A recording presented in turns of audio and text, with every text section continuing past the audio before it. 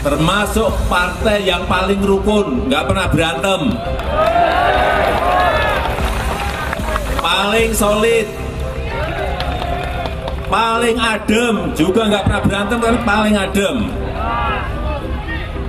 Memang namanya saja kan bagus. Hati, nurani, rakyat. Diskutasi Indonesia memang organisasi kemasyarakatan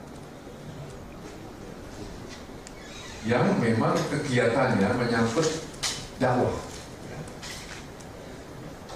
Namun pada kenyataannya apa yang dilakukan di lapangan hasil pengamatan kita, maka eh, gerakan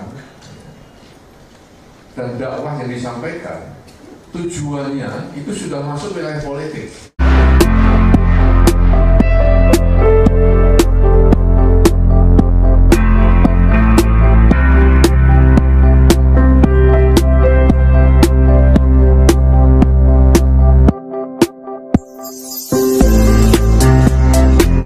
Saya tidak peduli apa yang dilakukan oleh sekelompok orang-orang yang kecil yang ingin merusak partai pasti akan kita lawan dan kita tertibkan.